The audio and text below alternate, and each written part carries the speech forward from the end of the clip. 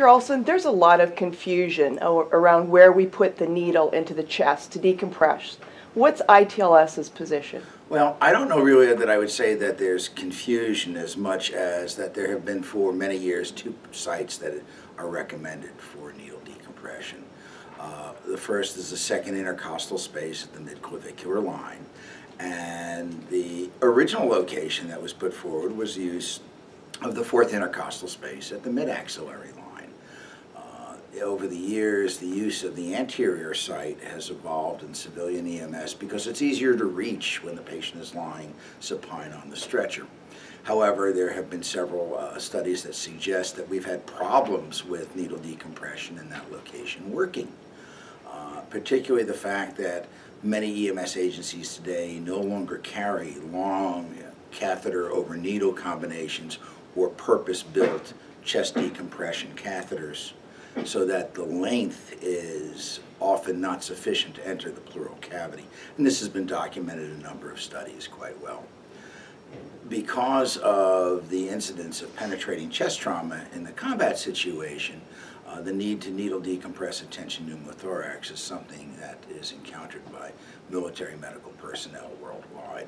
And because of the way body armor is shaped and fitted to the individual, access of that second intercostal space can be very difficult without removing the armor. This delays carrying out what is potentially a life-saving procedure.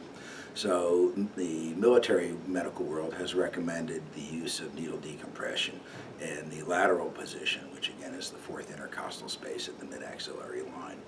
What we've done in our position statement is basically go over the indications for needle decompression, which is the clinical presence of a tension pneumothorax, and then talk about the two locations and the fact that either one is acceptable uh, there are again trade-offs. The challenge with the anterior approach is not having a long enough needle, and we recommend that you use a uh, catheter that is either three and a quarter inches long or at least eight centimeters in length to assure that it's long enough to enter into the pleural space and decompress the tension pneumothorax.